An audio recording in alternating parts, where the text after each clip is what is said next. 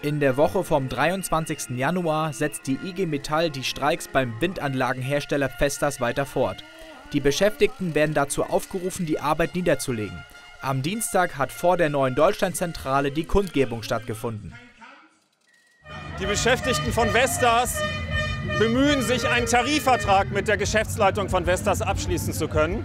Das unterstützen wir.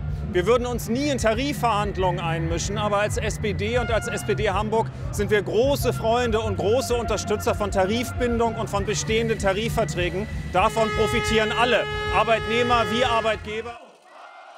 Bisher hat sich die Geschäftsführung verweigert, Tarifverhandlungen mit der IG Metall aufzunehmen.